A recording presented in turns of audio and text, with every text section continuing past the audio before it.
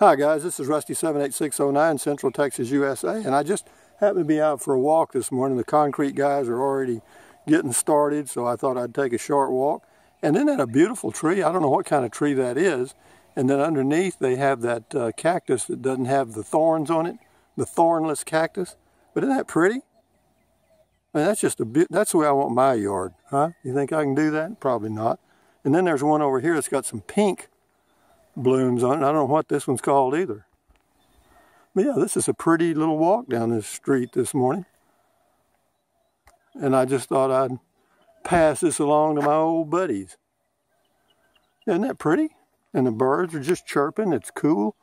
Uh, got a little, I mean, it's just cool. It's probably 75 degrees, 78. And I'm out for my morning walk for about an hour. And you can hear the, maybe you can hear them. Can you hear the honeybees? There's hundreds of honeybees and there are thousands. I mean, they're all over. You can't hardly see them. I can hardly see them. But isn't that beautiful? So you want to know where your honey comes from? That's it. That's where they get the sugars.